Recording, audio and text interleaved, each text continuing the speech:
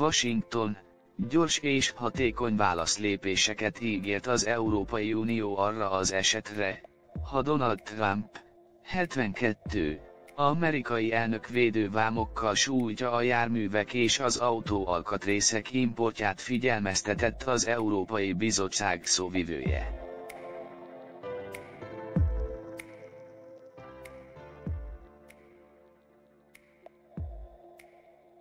Magyarország is vesztese lehet az intézkedésnek, ugyanis, ha védővámot vetnek ki a német kocsikra, kevesebb autót lehet majd eladni, ezáltal csökkenhet például a győri Audi gyár motortermelése is.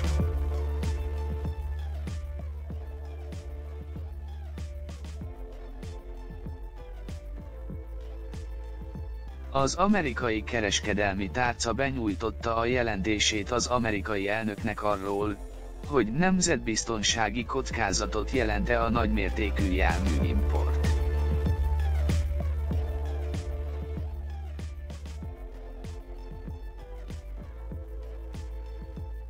Egyes források szerint a tárca arra jutott, hogy igen.